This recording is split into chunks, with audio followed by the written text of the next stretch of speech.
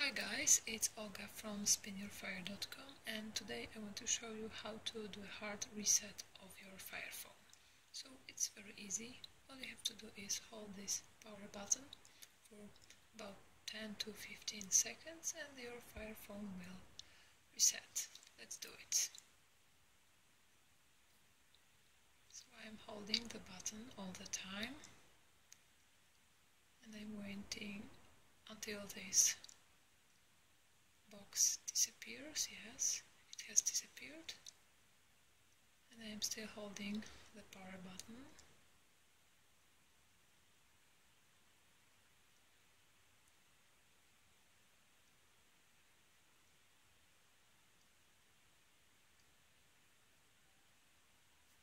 Yeah. And my Fire phone has just restarted. Can release the button and wait until it until it's done.